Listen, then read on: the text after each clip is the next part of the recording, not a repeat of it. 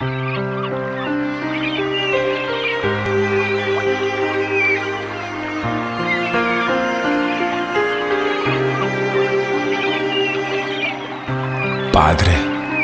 dammi da mangiare. Sotto la maschera anonima dei nostri volti, le bocche nascoste hanno fame, cercano parole che sanno amare. Imboccaci con pezzi interi di fiato, Signore, perché a molti è stato sottratto il respiro, masticato, ingoiato.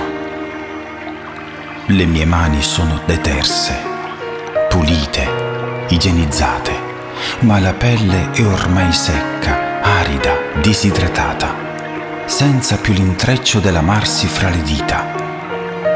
Fatti toccare, Padre, Dio di ogni vita, perché tu l'hai detto a noi e tu lo prometti.